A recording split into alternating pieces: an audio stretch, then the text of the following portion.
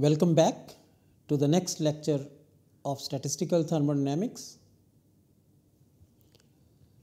We have been discussing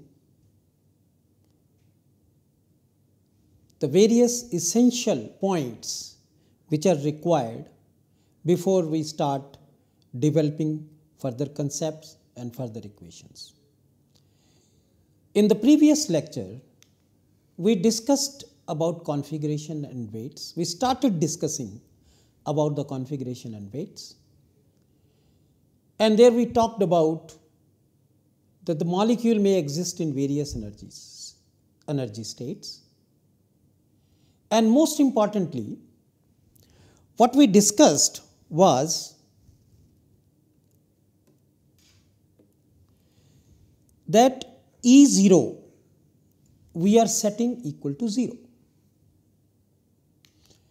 But that does not mean that the internal energy which is equal to the sum of total energy no, possessed by the molecule in all forms. Because what we talked about that in order to obtain actual internal energy U, we may have to add a constant to the calculated energy system. And we also took an example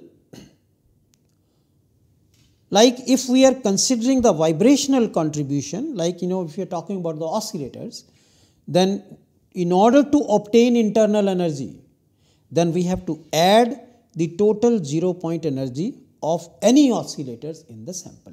So let us keep in mind that if somehow we are able to calculate the total energy and if we want to now calculate the internal energy from the total energy, we will need to add a constant which is equal to the zero point energy of that system.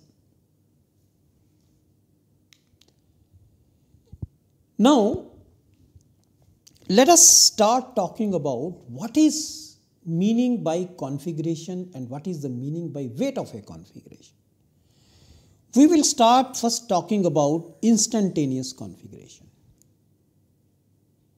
Please note the way this instantaneous configuration is written n0, n1, so on, so on, so on. The system is having total of n molecules.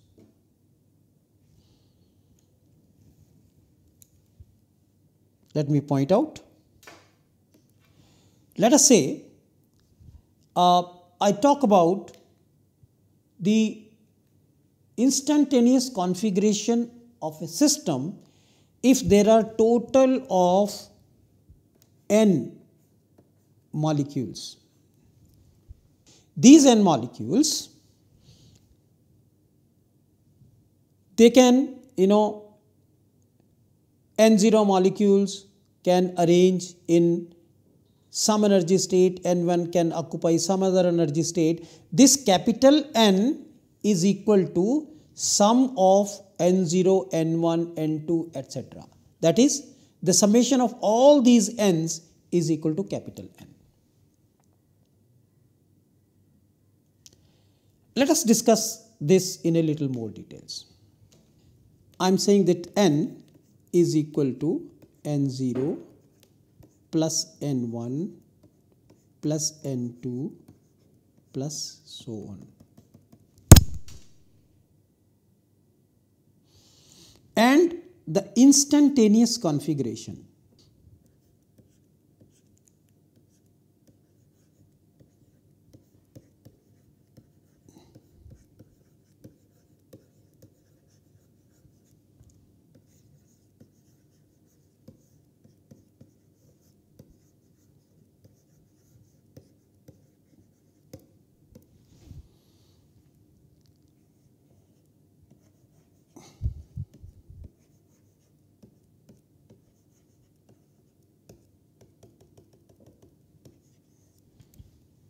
How do I interpret this instantaneous configuration? The way to interpret this instantaneous configuration is that there are n0 number of molecules in a state of energy E0, N1 number of molecules in a state of energy E1, N2 number of molecules in a state of energy E2. So therefore, how much is the energy of this state? This one. The total energy will be N0 times E0. Here the total energy will be N1 times E1. Here the total energy is N2 times E2 and so on. Sum of all these will be total energy.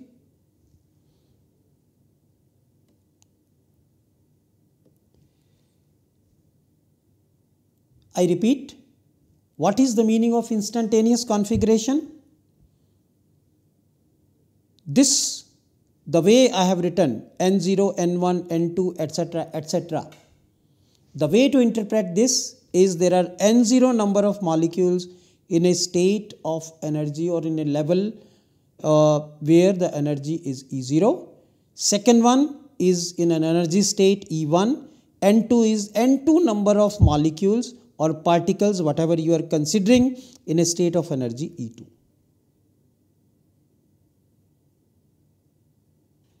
So therefore remember this concept, concept of instantaneous configuration and the way to read instantaneous configuration.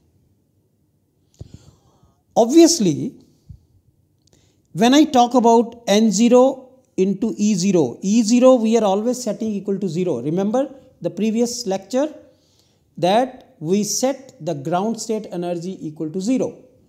Therefore, this is 0, N0 into E0, whatever the number is, it is 0. This energy is N1 E1. This energy is equal to N2 E2. So, the total energy will be sum of all these.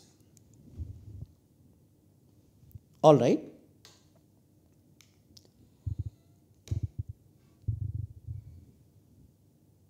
Now, let us talk about an instantaneous configuration corresponding to 500. How do we read it? The way we read it is that there are five particles or five molecules in the ground state or in a state with energy equal to E0 everything you know all the five molecules are in the ground state and there is no molecule which is in the excited state. So, this 500 can be achieved only in one way. And what is that one way? Is that all the five molecules are in the ground state. Now, if you look at the second instantaneous configuration 3, 2, 0, etc., etc., the total number of molecule is 3 plus 2 equal to 5. But there are three molecules in the lowest energy state and two molecules are in the first excited state, total of five.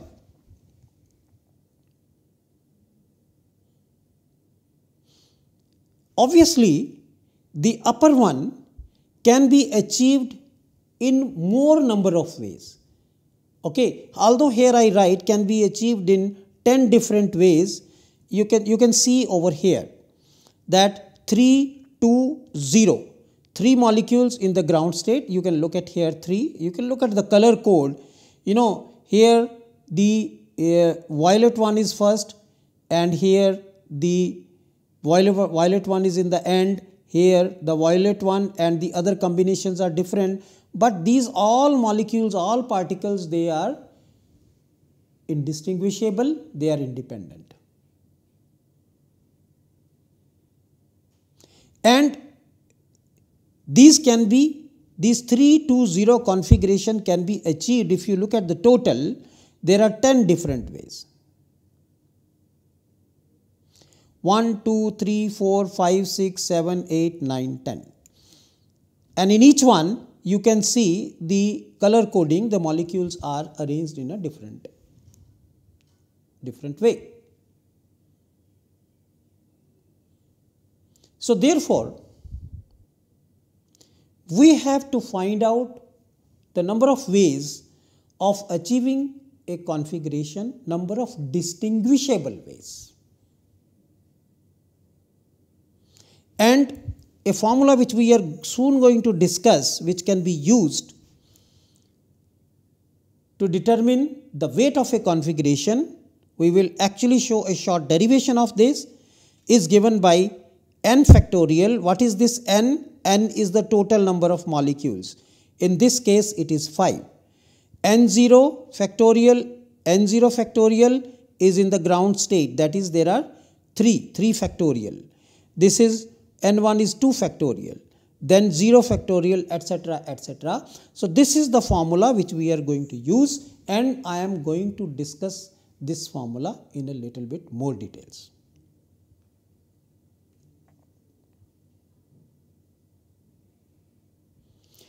Let us uh,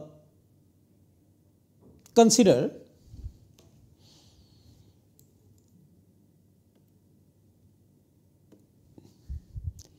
an arrangement which is let me just put a bar over here.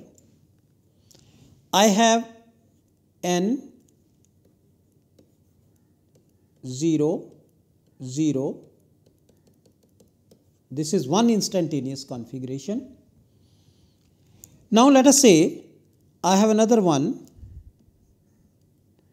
where two molecules are excited to the first excited state these two instantaneous configuration. And let us discuss that out of these two, which one can be achieved in more number of ways. Let us discuss about that.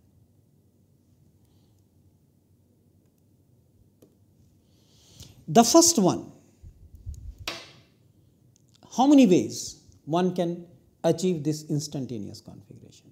There is only one way because the requirement is here that all the molecules, all the particles are in the ground state.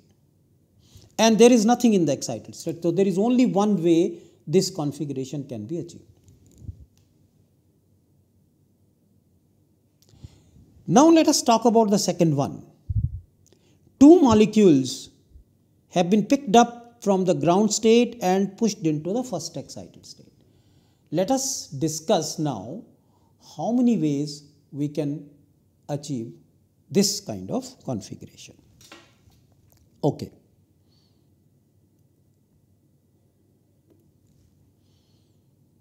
Initially, we have n particles. So, I can pick up, you know, I have to pick up one molecule and take it to the first excited state. I have n choices right? So let us say I take up one and put it in the first excited state. I had n choices. I could pick up from this n number of molecules. Now how many are remaining? There are n minus 1 because one has been picked up and put into the first excited state. Now in order to choose the second one, there are how many choices?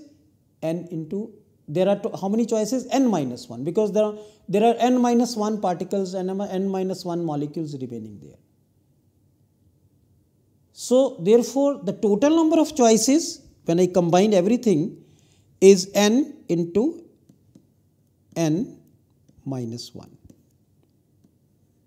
because the first one could be picked up amongst n the second one can be picked up amongst n minus 1. Therefore, the total number of ways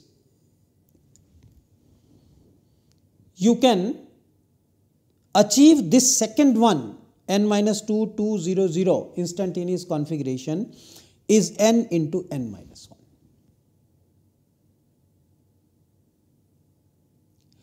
But remember one thing we have been talking about the particles, we have been talking about the molecules, which are not distinguishable.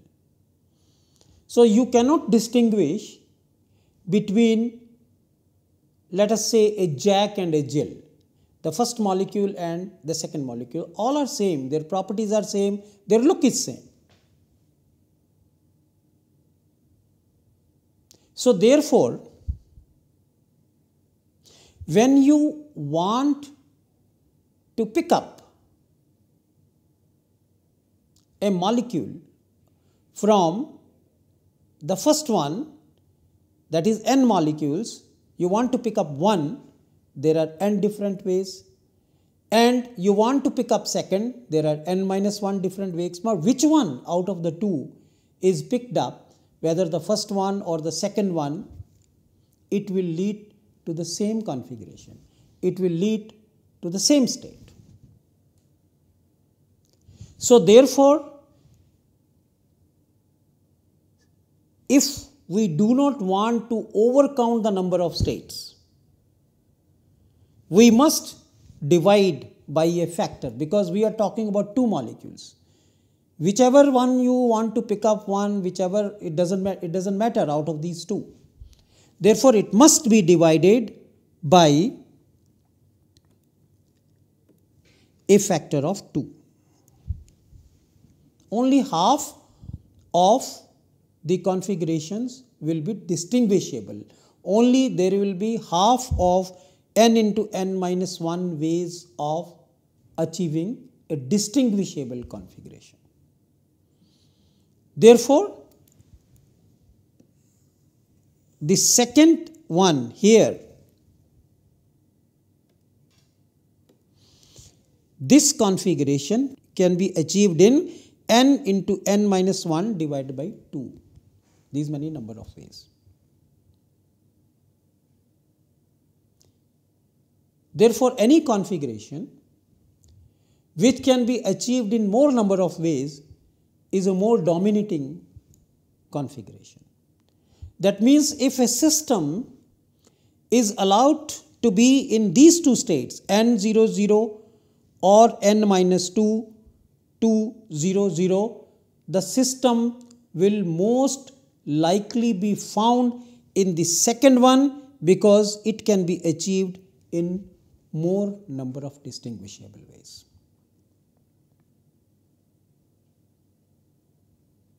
While we are discussing this, remember that I am not imposing the energy criteria over here because just think about what is the total energy of this instantaneous configuration?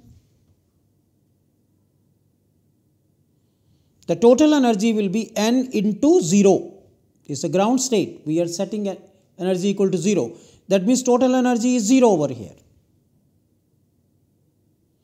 And the total energy here is n minus 2 into 0 plus 2 into E1. So, for the argument's sake here, please ignore that energy criteria over here. Just concentrate on the number of ways you can achieve an instantaneous configuration. We will bring in the energy criteria, energy restriction a bit later. A system can exist in several instantaneous configuration because under the given conditions at a given temperature the system can be in different instantaneous configuration for example instead of n minus 2, 2, 0, it can be n minus 5, 3, 2, 0, 0, etc. etc. There can be several instantaneous configuration.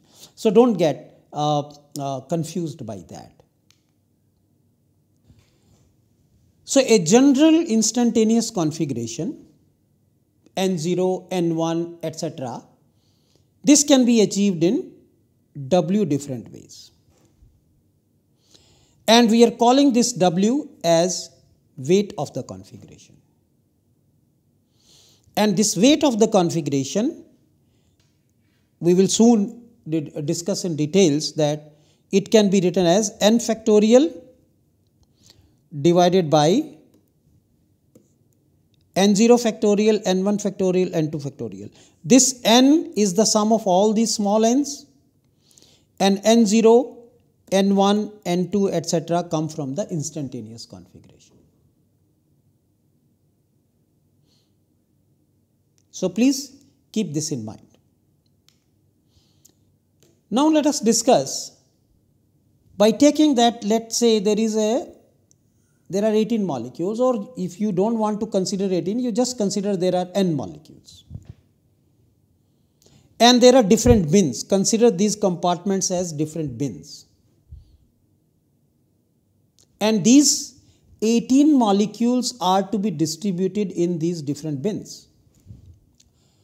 Let me represent these molecules as balls there are balls there are bins and these n balls which in this case we are considering as 18 are to be distributed in different bins. So, in order to choose the first, when I take the first one, there are n balls available. Second one, there are n minus 1 balls available. For the third one, there are n minus 2 balls available. So, in the same arguments, let me go that there are total n balls available. When I pick up select the first one, I have n choices. When I select the second one, there are n minus 1 choices. When I select the third one, there are n minus 2 choices. Eventually, when we finally end up with only one choice. And this is nothing but n square, n factorial. There are n factorial ways you can pick up a ball and put into different bins. Now let us classify these bins separately. Let's say this bin has some energy E0, this has let us say E1, this has E2, this has E3, etc. etc. Or they are different bins. And let us say we put three balls into this and you cannot distinguish between these balls. How many ways these balls can be arranged here? 3 factorial right how if I classify this as A B C then I can have A C B B C A B A C C B A C A B uh, C A B so how many 1, 2, 3, 4, 5, 6 which is equal to 3 factorial. Similarly, if there are, if I put, if 6 balls are there in this designated bin, then there are 6 factorial ways. The ball can be picked up. And each arrangement reduces the total weight of a configuration because you want to calculate the number of distinguishable arrangements. So here how we will calculate the distinguishable arrangements? We have this n factorial.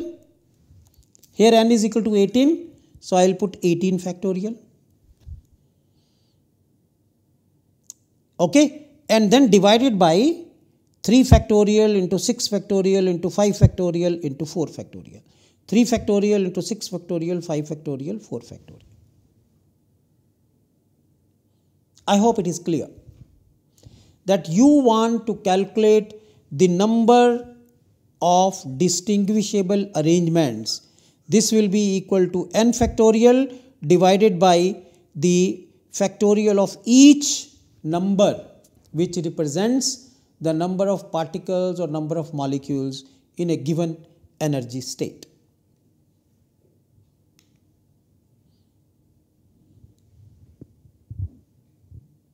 So, what I was talking about is this formula W is equal to n factorial divided by n0 factorial, n1 factorial, n2 factorial, etc. Let us now solve a problem. The problem is calculate the number of ways of distributing 20 identical objects. Remember this keyword identical objects with the arrangement 1, 0, 3, 5, 10, 1.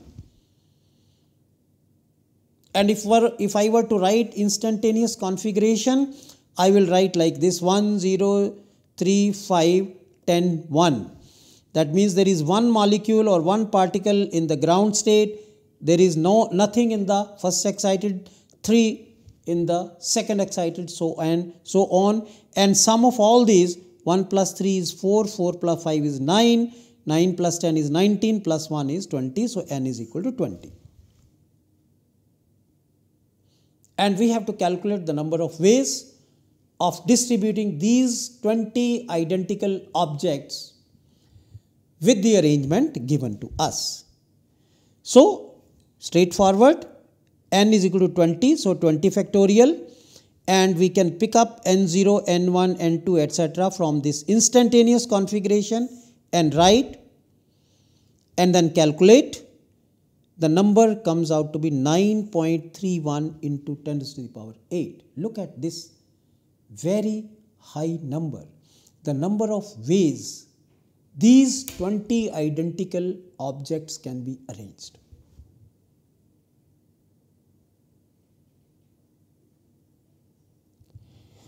Now, as I just mentioned, that this instantaneous configuration can change depending upon the factors, depending upon the conditions. You change the temperature, the instantaneous configuration will change. Even under the given conditions, there can be several instantaneous configurations possible. But just for the numerical problem solving uh, sake, Note here that x factorial denotes x into x minus 1 into x minus 2 so on until you reach 1 and by definition 0 factorial is equal to 1. So, these uh, please keep in mind. So, now if there are several instantaneous configuration and and there can be weight of a configuration, how do we proceed then? In which state or in which configuration your system is going to be most likely in that needs to be further discussed. We will further develop concepts towards that that is to find out a configuration in which the system is most likely going to be there and then further develop the concepts of statistical mechanics or statistical thermodynamics based on those. Thank you very much.